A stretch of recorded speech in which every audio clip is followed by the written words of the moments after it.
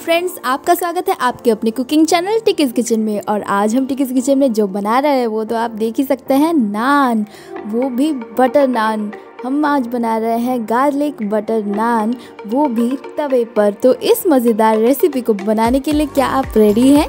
तो चलिए फिर बनाना शुरू करते हैं। सिंपल हम जिस तरह से घर में आटा गूंदते हैं, उसी तरह से हम करेंगे। लेकिन यहाँ पे हम ले रहे हैं मैदा। मैदा यहाँ पे हम ले रहे हैं दो कप। देख सकते हैं आप मेरी कप की साइज़ इस कप की साइज़ के हिसाब से मैंने दो कप लिए हैं। अभी इसमें हम ऐड करेंगे बेकिंग पाउडर वो हमने डाला है एक चम्मच। और डालेंगे बेकिंग सोडा एक चौथाई चम्मच। और फिर इसमें हम ऐड करेंगे ऑयल दो टीस्पून देख सकते हैं आप।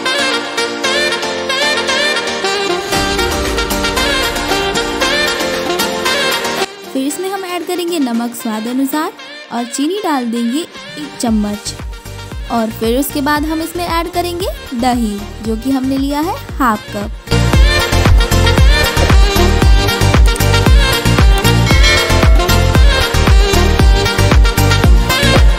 सारे इंग्रेडिएंट्स हमारे डल चुके हैं। अभी बस हमें क्या करना है कि इसको बिल्कुल अच्छे से मिक्स करना है और हमारा डो बना लेना है।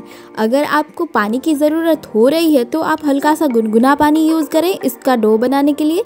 लेकिन मुझे ज़रूरत नहीं पड़ी क्योंकि दही था इसमें तो दही ने इसको अच्छी तरह से मेंड कर दिया है। देख सकते हैं आप, बिल्कुल अच्छा सा डो बनकर रेडी हो चुका है। हमने बिल्कुल भी पानी यूज़ नहीं किया है। बस डो बन जाए तो उसमें हम हल्का सा तेल लगा लेंगे। और इसको ढक कर रख लेंगे करीबन डेढ़ से दो घंटे के लिए। आप इसे 30 से 45 मिनट तक भी रख सकते हैं। आप इसको जितना ज़्यादा टाइम रखेंगे, ये उतना ही अच्छा डो बन कर आएगा। तो एक छोटा सा पोर्शन मैंने ले लिया है डो से और उसको हल्का सा ड्राई फ्लोर में लपेट कर अच्छे से इसको बेल लेंगे हम। ये जो हमारा नान होता है, ये हमको ओवल शेप में ज़्यादा ही अच्छा लगता है। वैसे तो आप राउंड शेप में भी कर सकते हैं, लेकिन ओवल शेप में देखने को भी अच्छा लगता है और खाने में भी टेस्ट तो क्या ही वे कहना है। आप इसको जिस तरह से चाहें भी बेल सकते हैं, लेकिन टेस्ट तो वही रेस्टोरेंट वाली मिलेगी।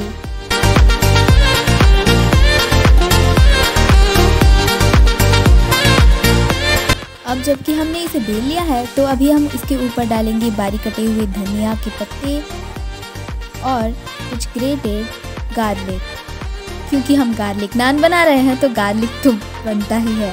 तो गार्लिक को हम यहाँ पे हल्का सा लगा देंगे और उसके साथ हमने लिया है हमारे कोरिएंडर लीव्स बस इसको हल्का सा बेल लेना है। आप चाहे तो इस पर कॉलोंजी भी यूज़ कर सकते हैं, हल्का सा डाल सकते हैं इसमें। जो आपके पास अवेलेबल है, आप यूज़ करें। अब जबकि हमने हमारे नान में जो भी इंग्रेडिएंट्स चाहिए था, वो हमने लगा लिया है। तो अभी हम इसको पलट लेंगे और पीछे की तरफ़ हम लगा लेंगे हल्का सा पानी। पानी आप थोड़ा अच्छे से ही लगाएँ, क्योंकि अगर आप कम अमाउंट में पानी यूज़ करेंगे, पानी लगाएँगे तो तवे पर ये अच्छे से चिपकेगा नहीं। तो अब हमारे नान का जो गीले वाला सरफेस है, उसी को हमने नीचे की तरफ़ डाल दिया है। अब देख सकते हैं, इसमें हल्का सा बबल आने लगा है। तो आप इसी तरह से फॉर्क की हेल्प से थोड़ा थोड़ा सा दबा लेना है। और फिर देख सकते हैं आप, इसमें बबल बिल्कुल अच्छे से आने लगे हैं। अभी हमें क्या करना है कि क्योंकि हम बटर नान बना रहे हैं तो बटर को हम इधर ही लगाएँगे। तो यहाँ पे हम बटर लगा लेंगे बिल्कुल अच्छे से ऊपर में, हर तरफ़ से। और बस बटर लगा लेते ही हमें अब करना है ये कि तवे को बिल्कुल ही उल्टा कर लेना है। और उल्टा करते ही क्या हो रहा है कि हमारा जो फ्लेम है वो बन चुका है भट्टी और इसमें हमारा नान सेक रहा है। इसको बिल्कुल इसी तरह से घुमा घुमा कर हर तरफ़ से हमें इसको सेक लेना है। नान को हम इसी तरह से बिल्कुल घुमा घुमा कर बिल्कुल भट्टी की तरह ही सेक लेंगे चारों तरफ़ से। और फिर देख सकते हैं आप, इसमें कितने अच्छे तरह से गोल्डन ब्राउन कलर के स्पॉट्स हो जाते हैं।